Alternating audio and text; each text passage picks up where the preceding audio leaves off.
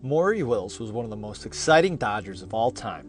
A journeyman rookie at the age of 26, Wills helped restore the stolen base to prominence.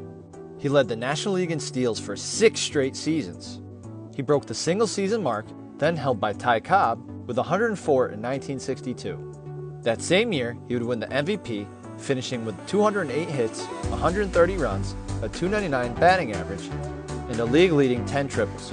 The seven time All Star would help the Dodgers win three World Series and would finish his career with a lifetime 281 average, 2,134 hits, 586 stolen bases, and 1,067 runs.